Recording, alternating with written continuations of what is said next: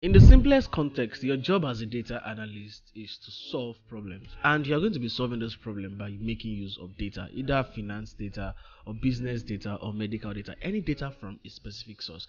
Now, there are a couple of steps that actually leads to how a data analyst can actually use data to solve a problem. The first step is to collect your data set. Uh, the second step is to actually clean this data set. Third step is to analyze this data set. And the fourth step is to make a report. The fifth step is to visualize and make a conclusion. Now, after cleaning your data set, the next few steps that leads to you analyzing your data set and also trying to visualize and make a conclusion from that data set is going to be making use of one or two types of statistical analysis techniques. Statistical analysis is the usage of statistical techniques and methods to actually draw insight and conclusion from a data set. In this video, I'll be talking about statistical analysis and the type of statistical analysis we actually use, not only in data analysis but in analysis in general. So I'll be starting with the first and the most popular type of statistical analysis, and that is the concept of descriptive analysis.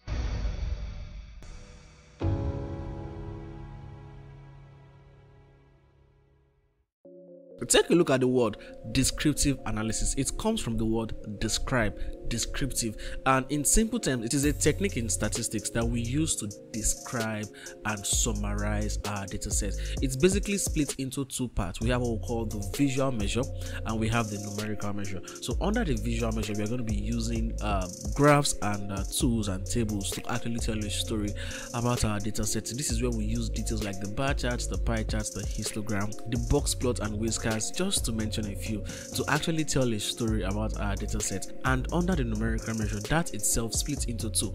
We have the measure of central tendency, aka the measure of location, which actually helps us to tell a story about the center of our data set. We have the mean, we have the median, and we have the mode. And the second part of the numerical measure is what we call the measure of dispersion, which consists of the mean absolute deviation, the standard deviation, the variance, the interquartile range, just to mention a few. And this this part of the numerical measure under descriptive analysis actually help us to tell us how spread out, how wide our data set is. So the visual measure and the numerical measure all make up descriptive analysis. The descriptive analysis can actually be performed on any of the tools you want to use to perform your analysis, either uh, Excel, IBM SPSS, R, Python, SQL. You know, performing descriptive analysis using Excel, SPSS, R is actually quite easy. If you are using Excel, just click on the descriptive tab and then it actually helps you to give details that summarize your data set. And if you're actually working on R or Python, just use a simple code and boom, you have all the details that actually describe your data set both numerically and in the visual context. The next type of statistical analysis that is kind of similar to that of the descriptive analysis is what we call the exploratory data analysis, EDA for short.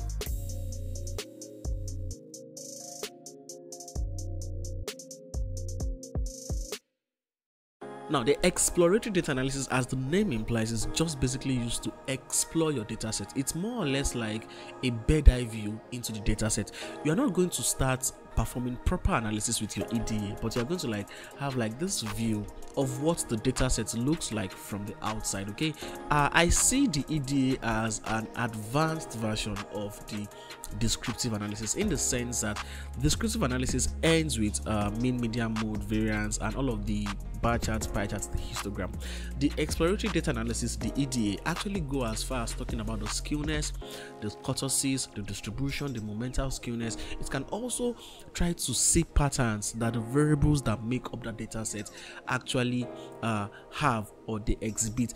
And in the long run it might make a simple comment or simple remark regarding the data set. Oh it can be like this data set is actually left skewed. This data set is actually right skewed. Oh it has this value of kurtosis. It has this value of skewness. This is actually a normally distributed data and stuff like that. So i see EDA, aka the exploratory data analysis, as um, as a descriptive analysis on steroids. Okay, so they are actually kind of similar. People, in fact, actually uh, mistake them. Okay, and feel like they are actually the same thing, but in the long run you will realize that these two guys are quite similar but eda is like a better version of descriptive statistics. So whenever you get your data set and you want to like just start analyzing the first step i would advise you to do is to perform eda and at the same time you are also performing your descriptive analysis. Now the next type of statistical analysis i'll be talking about is the inferential analysis and this is the branch of analysis that actually uses a sample data to actually make inference regarding a population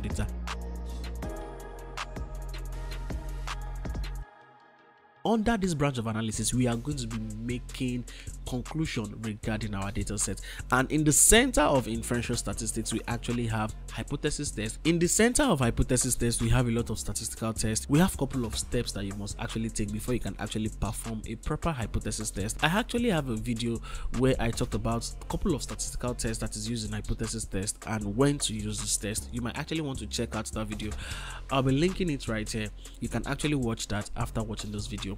Under the concept of statistical inference, we are going to be having the likes of hypothesis test, that is the one sample t test, the one sample z test. We have the chi-square, we have the ANOVA, we have the correlation analysis, we have the two-way ANOVA, we have the ANCOVA, we have the MANOVA, we have the whole of the confidence interval. The job of the inferential analysis is to actually use a sample data to make inference on a population data to draw out conclusion and the basis of the inferential statistics is based on just two sentences. We have the null hypothesis and we have the alternative hypothesis, and everything begins from there. Now, let's talk about the next type of statistical analysis, and that is what we call the predictive analysis.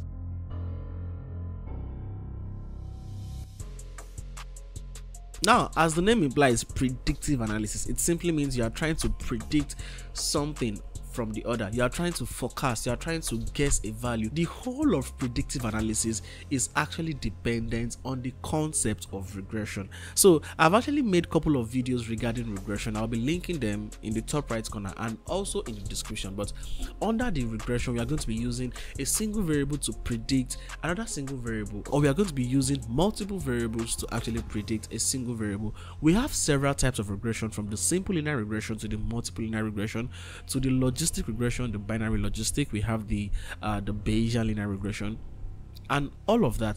I've actually shot a video on the types of regression that we have in statistics in general and in machine learning. You might actually want to check that video out.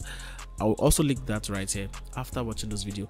The concept of predictive analysis is actually done more in time series, in forecasting, and when you build machine learning models. Now we are tending towards the end of the analysis as a whole okay? Now the last type of analysis is what we call the prescriptive analysis. And as the name implies we use this type of analysis to actually prescribe uh, a solution. So the prescriptive analysis is more or less like a joint effort of the exploratory analysis uh, the eda for short rather the descriptive the inferential the predictive. So when you've used all of the other type of analysis statistical analysis to actually uh, you know work on your data set then you now come back to prescriptive and make a conclusion and prescribe a solution to the problem at hand. It simply means that the prescriptive analysis does not really have a specific technique that defines it because it's like a melting pot for all of the analysis that we've been doing from the beginning down to where we are. So everything all ends with the prescriptive analysis and it starts with the